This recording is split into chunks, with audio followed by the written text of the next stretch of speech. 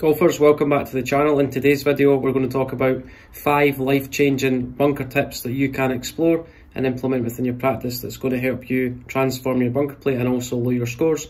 The second part of this video showcases a simple indoor drill that you can use within your practice to understand compression and what we need to do in order to create compression on the backswing and how that translates into the downswing. Tune into this video to improve your golf swing. If you struggle with your bunker play, this is a quick setup guide that's going to give you a little bit more of an identity when you're in a bunker shot. Too many golfers spend too long in these bunkers, but sometimes they don't have a vision, there's no goal in mind. So the biggest thing we're going to educate you to start off with is just having a brief setup guide that you can adhere to and give you a little bit more clarity as to what you're doing.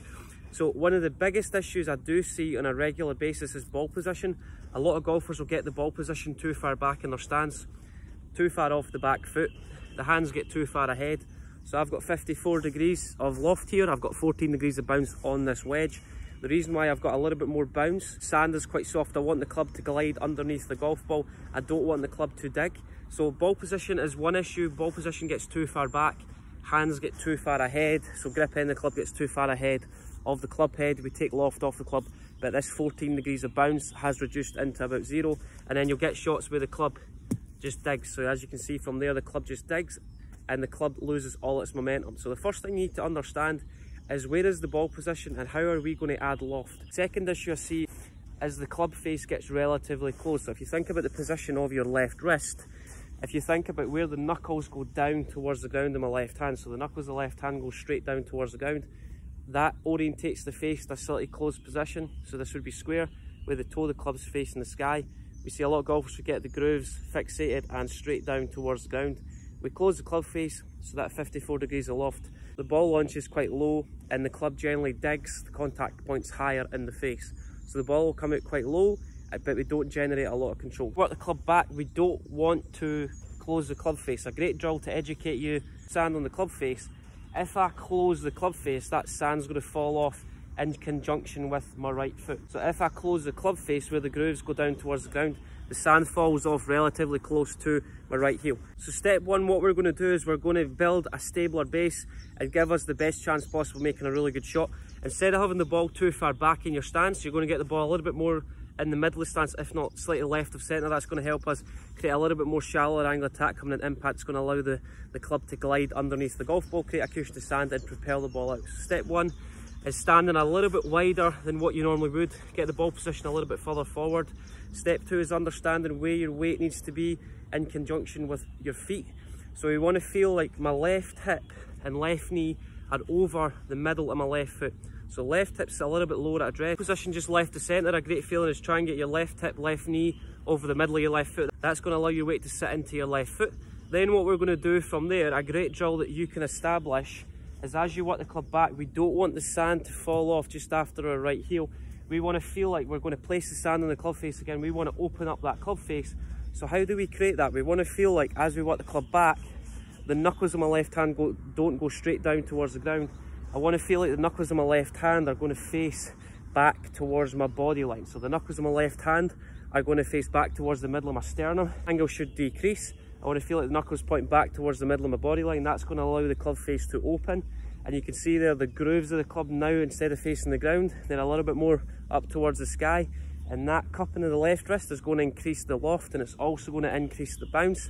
We're going to cup that left wrist, knuckles are pointing back towards your body line. That angle should feel like it reduces slightly. Instead of knuckles towards the ground, knuckles towards your body line. That's going to open up the club face. Then as we come through impact, we want to feel like as we release the club, the grip end of the club points back towards your right hip. As we release the club through impact, grip end of the club pointing back towards your right hip.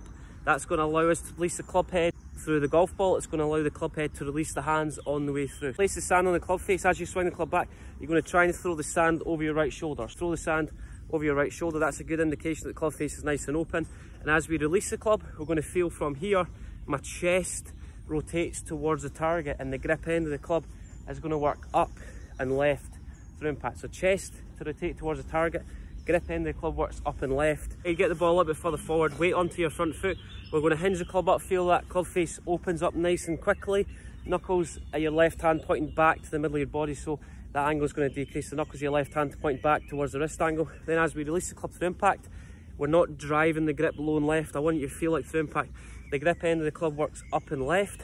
So as we release the club, grip end of the club is going to point back towards your right hip. So gripping the club point back towards your right hip. That's going to allow the, the club head to release. It's also going to feel like the grip end of the club slows down, which is going to help us maintain the loft on the club face, but also increase the bounce. As we release club, grip end the club to work up and left around your left hip, and your chest is going to face the target. Keep that club face nice and open, where the heel is slightly higher than the toe, the heel higher than the toe, grooves towards the sky. It's going to keep that club face nice and open. It's going to prove your bunker play. So as we release the club, keep the sand on the club face. That's a great feeling to keep the heel high on the toe. High shot but soft landing as it hits the green. So grip end the club to point back towards right hip. Release that right palm towards the sky on the way through. The biggest things we hear on a daily basis is the club face is king. The club face is the barometer. So if you're struggling with a flip through impact, I want you to visualise what the club face is doing in the backswing. Start the club face in an open position how are you going to square that club face up? Any time that we open the club face, we're going to have to release the club really early. Grip end of the club goes back the way. We're going to close the club face. So if you're turning a 7 iron into a 9 iron, the face could be a little bit open in the backswing. So the first thing you need to address is the position of the club face. In the spectrum where the club face gets really shut down, if the club face goes back in a closed position, if we get into impact and we don't create shaft lean that everyone wants to achieve, so far left you're going to be hitting a provisional off every single tee. With the club face being closed in the backswing, the more I lean the handle forward, twist the handle forward into the right, that's going to allow that club face to square up. Identify how you create more compression. You're not getting the club face open in the backswing, then you release the club early, causes ground contact before the golf ball, we add lots of loft. More compression, you need to get the club face a little bit more squarer to closed on the way back because if the club face is slightly more close coming into impact, to square that up we're going to add the lean in the shaft forward and think about how the club face position affects the impact conditions that you want to achieve.